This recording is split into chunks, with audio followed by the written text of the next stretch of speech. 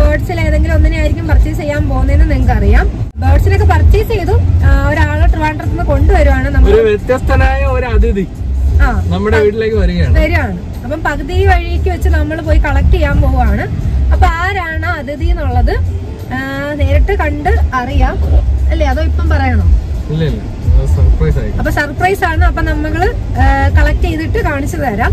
അപ്പൊ നമ്മളിപ്പോ പോകുന്നത് നമ്മുടെ വീട് വർക്കല ആയതുകൊണ്ട് വർക്കലയിൽ തീരദേശ റോഡ് വഴിയാണ് പോകുന്നത്. പെരുമാതുറ അല്ലേ. ഓക്കെ പെരുമാതുറയിലാണ് നമ്മൾ ഈ ബേർഡ്സിനെ കളക്ട് ചെയ്യുന്നതെന്ന് പറഞ്ഞു കഴിഞ്ഞാൽ നമ്മളിപ്പോ ട്രിവാൻഡ്രത്ത് നമ്മുടെ ഒരു ചങ്ങാതയുണ്ട്. ചങ്ങാതിയുടെ കെയർ ബേർഡ് എടുത്തിരിക്കുന്നത്. അവനെ പറഞ്ഞു അവനെ പാതി ദൂരം നമ്മൾക്ക് പാതി ദൂരം കൊണ്ടുവരാൻ പറഞ്ഞിട്ട് അങ്ങനെ അവനൊരു ട്രാവലിംഗ് കേജിലാക്കി പാതി ദൂരം കൊണ്ടുവരികയാണ്. അപ്പൊ നമ്മൾ പാതി ദൂരം പോയി അത് കളക്ട് ചെയ്യാന്നാണ് പറഞ്ഞേക്കുന്നത്. അപ്പൊ പെരുമാതുറ പോയാണ് നമ്മൾ കളക്ട് ചെയ്യാൻ പോകുന്നത്. അപ്പൊ ഇവിടെ പെരുമാതുറയിലോട്ട് പൊക്കോണ്ടിരിക്കുകയാണ് ആരാണെന്നുള്ളത് നമ്മൾ പറയുന്നില്ല. നിങ്ങൾ തന്നെ കമന്റ് ചെയ്തോളൂ കമന്റ് ബോക്സിൽ ആരാണ് അതിഥി എന്ന്. ഓക്കെ പിന്നെ തമ്പനയിൽ കണ്ടപ്പോ എല്ലാവർക്കും മനസ്സിലായി കാണും. കണ്ടപ്പോഴും മനസ്സിലായി കാണും. അപ്പൊ നമുക്കിനി ബേർഡിനെ കാണാം. കളക്ട് ചെയ്ത് കഴിഞ്ഞിട്ട് ബേർഡിനെ കാണിച്ചു തരാം. ഓക്കെ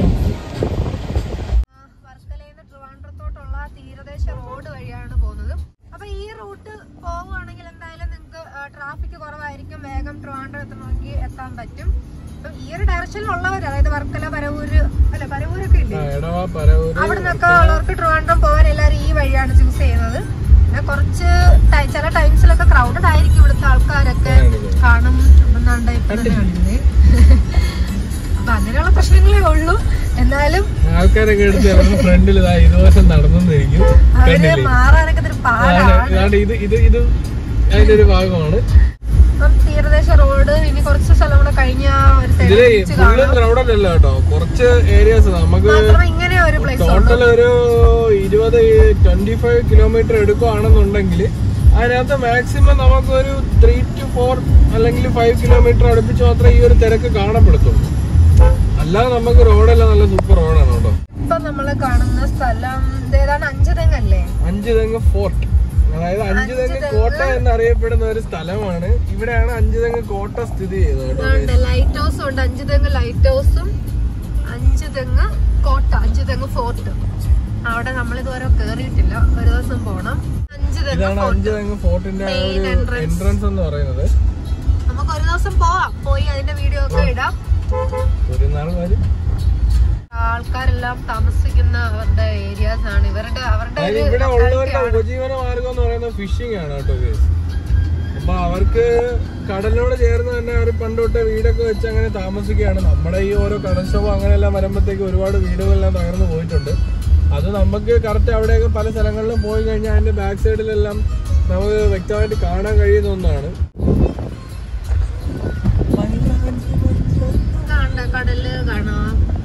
കായലും കടലും കൂടെ സംഗമിക്കുന്ന ഒരു സ്ഥലമാണ് കേട്ടോ. പുഴിക്കര എന്ന കാപ്പിലെ സ്ഥലം പോലെ തന്നെ പെരുമാതുര എന്ന കായലും കടലും കൂടെ സംഗമിക്കുന്ന സ്ഥലമാണ്. ഒരു സൈഡ് കടൽ മറ്റേ സൈഡ്. അപ്പൊ അവിടെയൊക്കെ ബോട്ടുകളൊക്കെ ഇട്ടിട്ടുണ്ട്. കാണാം. അപ്പൊ അത്യാവശ്യം ഒരു കാമൻ ക്വയറ്റ് ആയിട്ടുള്ള ഒരു റോഡിൽ കൂടെ ട്രിവാൻഡ്രം അങ്ങ് എത്താം കഴക്കൂട്ട ആ ഒരു റേഞ്ച് വരെ മനോഹരിതമായ കാഴ്ചകളിലൂടെ നമുക്ക് തിരുവനന്തപുരത്തേക്ക്. അത്രയൊക്കെ അങ്ങ് ഉപമിക്കണ്ട. ഇതിപ്പോ ഒരു ട്രാവൽ വ്ളോഗ് ആയിട്ടുണ്ട്. പെരുമാതുര അല്ലെങ്കിൽ മുതലപ്പൊഴി അതാണ് ഈ സ്ഥലത്തിന്റെ പേര്. മുതലപ്പൊഴി. ഓക്കെ. പുഴയിൽ നിന്ന് മുതലാളൊക്കെ ഇങ്ങനെ ഒഴുകി കടവിൽ പോകുന്ന സ്ഥലം. ആ മതി മതി മതി. തള്ളണ്ട ഒത്തിരി അങ്ങ് തള്ളണ്ട. കണ്ടോണ്ടിരിക്കുന്ന ആൾക്കാരൊക്കെ വിവരമുള്ള ആൾക്കാരാണ്. നമ്മുടെ ബേർഡ് കൊണ്ടുവന്ന് ഇവിടെ അപ്പുന്ന് നിൽക്കുവാണോ അപ്പുറത്തെ സൈഡാണോ അപ്പൊ ഇതുകൊണ്ട് കടലിന്റെ പോർഷൻ ഇങ്ങനെ പെരുമാതുറ പാലം ക്രോസ് ചെയ്തു. ഓക്കെ അപ്പൊ നമ്മൾ സ്ഥലത്തെത്തിയിരിക്കുകയാണ്. ഇതാണ് നമ്മുടെ ചങ്ങാതി. പുള്ളിയാണ് ബേർഡിനെ കൊണ്ടുവന്നേക്കുന്നത് ഓക്കെ കളക്ട് ചെയ്ത് ജസ്റ്റ് കാറിൽ വെക്കുകയാണ് വീട്ടിൽ ചെന്നിട്ട് ഓപ്പൺ ആക്കി. ആരാണ് നമ്മുടെ അതിഥി എന്നുള്ളത് കാണിച്ചു തരാം. ഓക്കെ നമ്മളിനി തിരിച്ച് വീട്ടിൽ പോവാണ്. അപ്പം പെരുമാതുര പാലത്തിൽ നിന്നുള്ള കാഴ്ചകളാണ്. ഇത് ഇതുവഴി പോകുന്നവരൊക്കെ ഇവിടെ വണ്ടി നിർത്തി കാണും. പക്ഷെ ഇപ്പം നല്ല വെയിലുള്ള ടൈമാണ് വൈകിട്ടൊക്കെ വന്ന് നിൽക്കാൻ പറ്റിയ സ്ഥലമാണ്. നമ്മൾ അവിടുന്ന് മാങ്ങയൊക്കെ വാങ്ങിച്ചു. വീട്ടിൽ ചെന്ന് നമ്മുടെ ബേർഡിനെ എടുത്ത് അതിനെന്തായാലും ഫുഡൊക്കെ കൊടുത്ത് എല്ലാം ഓക്കെ ആണോ എന്നൊക്കെ നോക്കി ചെക്ക് ചെയ്തിട്ടൊക്കെ നിങ്ങൾക്ക് കാണിച്ചു തരാം. യാത്ര ചെയ്ത ക്ഷീണത്തിലായിരിക്കും ആൾ. ഓക്കെ അപ്പൊ നമുക്കിനി വീട്ടിൽ ചെന്നിട്ട് കാണാം.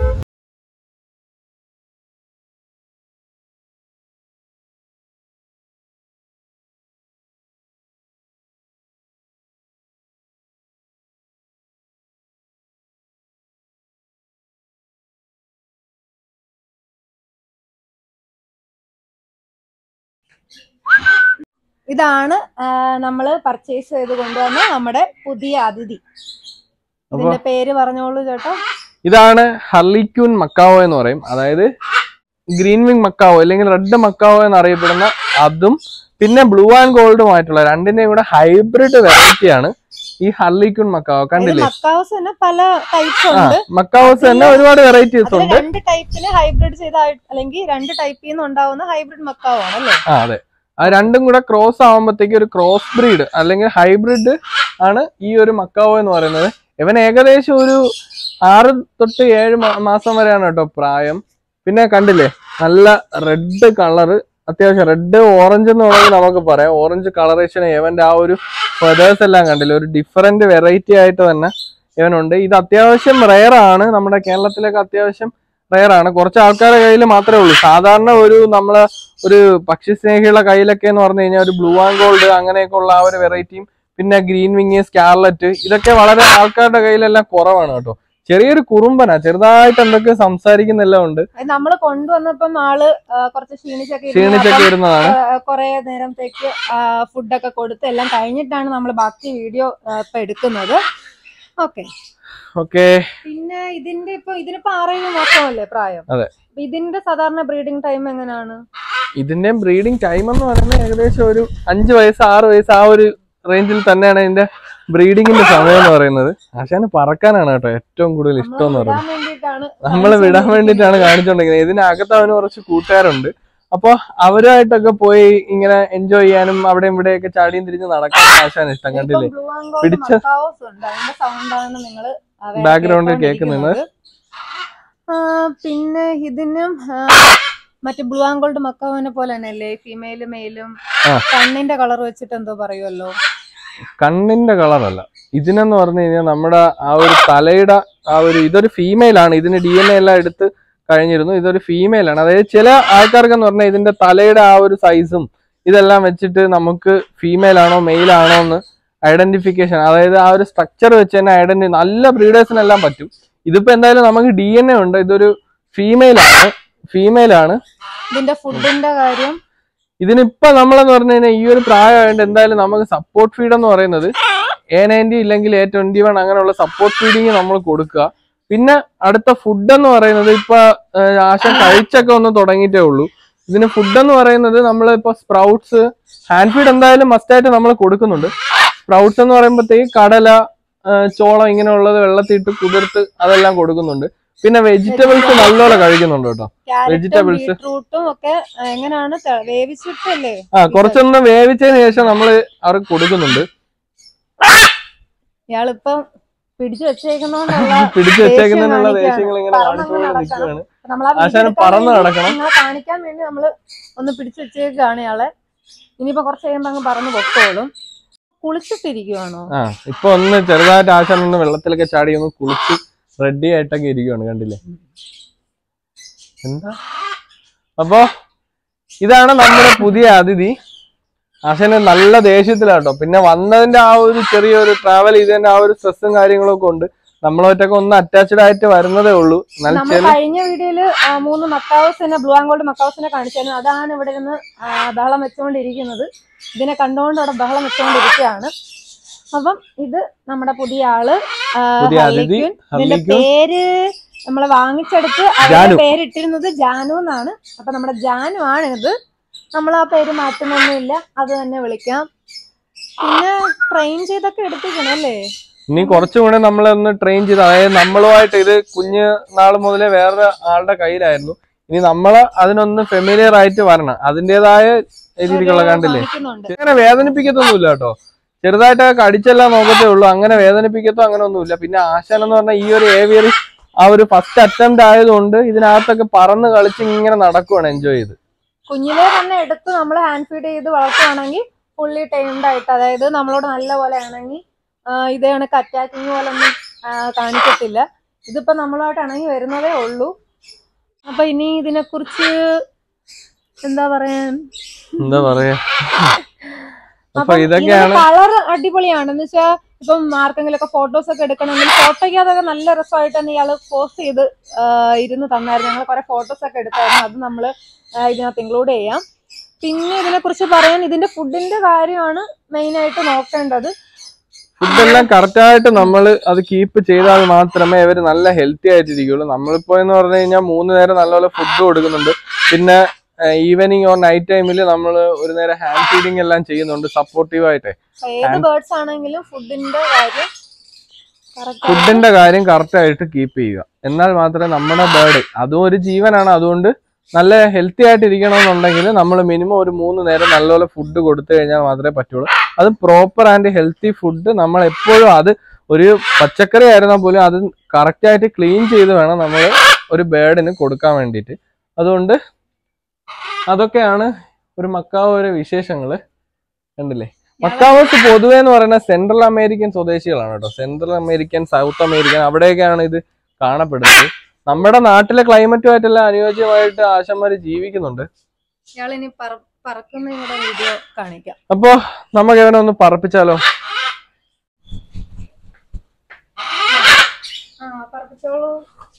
പറപ്പിക്കട്ടെ ഇയാൾ പറന്ന് ഓ ആ പേരക്കമ്പിൽ ഇരുന്നിരുന്നു അപ്പൊ നമ്മുടെ ജാനി ജാനിക്കുട്ടി ജാനിക്കുട്ടി ദേശത്തിലാണ് നമ്മളെയൊക്കെ കൊത്താൻ നോക്കാണ് ആൾ. ജാനു ഇന്ന് വാ. ഇറങ്ങി വാ. നമ്മൾ പറയുന്നതിന് അനുസരിക്കത്തില്ല അല്ലേ? അതിനുള്ള ടൈം ആയിട്ടില്ല. ഇനി ഒരു. ടോക്കിങ്ങിന്റെ കാര്യം പറഞ്ഞില്ലല്ലോ ആ ഒരു വയസ്സൊക്കെ ആകുമ്പോഴത്തേക്ക് ആശന്മാരൊന്ന് ഇപ്പോഴും തന്നെ ചെറുതായിട്ട് എന്തൊക്കെയോ പറയുന്നുണ്ട്. ഒരു വയസ്സിന് നല്ല ക്ലിയർ ആയിട്ട് സംസാരിക്കും നോർമലി എല്ലാ മക്കാവസും അങ്ങനെ തന്നെയാണോ? ആ നോർമലി ആൾമോസ്റ്റ് എല്ലാ മക്കാവും ആ ഒരു സമയം ആകുമ്പോഴത്തേക്ക് നല്ല രീതിക്ക് സംസാരിക്കുന്നതായിരിക്കും. ഓക്കെ അപ്പൊ ഇതിന്റെ കൂടെ ബാക്ക്ഗ്രൗണ്ടിലുള്ള സൗണ്ടിന്റെ ആൾക്കാരെ കാണിച്ചു തരാം. ഇതാണ് നമ്മൾ കഴിഞ്ഞ വീഡിയോയിൽ കണ്ട macaws blue and gold macaws.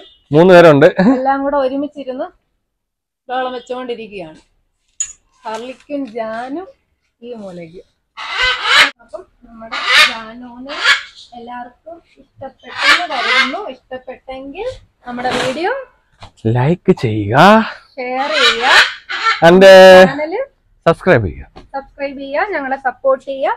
പിന്നെ ആർക്കെങ്കിലും എന്തെങ്കിലും ബേർഡ്സിനെ പറ്റിയോ അല്ലെങ്കിൽ അതിന് എന്തൊക്കെ ഫുഡിന്റെ കാര്യം അങ്ങനെ എന്തെങ്കിലും ഡൗട്ടോ കാര്യങ്ങളോ ഉണ്ടെന്നുണ്ടെങ്കിൽ നമ്മളെ വിളിച്ച് ചോദിച്ചു കഴിഞ്ഞാൽ നമ്മൾ കറക്റ്റായിട്ട് കാര്യങ്ങളെല്ലാം പറഞ്ഞ് അതിന്റെതായ ഗൈഡൻസ് ഇപ്പൊ ബ്രീഡിങ് കേജ് ചെയ്യുന്നത് എങ്ങനെയാണോ അല്ലെങ്കിൽ ബ്രീഡ് ആക്കാൻ വേണ്ടിയിട്ട് നമ്മൾ എന്തെല്ലാം ചെയ്യണമെന്നോ ഇതെല്ലാം. അല്ലെങ്കിൽ ബേർഡ്സിനെ പറ്റി വേറെ എന്തെങ്കിലും ആവശ്യതകൾ ആർക്കെങ്കിലും ഇന്ന ബേർഡ് താല്പര്യം ഉണ്ട് അത് വാങ്ങാനായിട്ട് ഇഷ്ടമാണ്.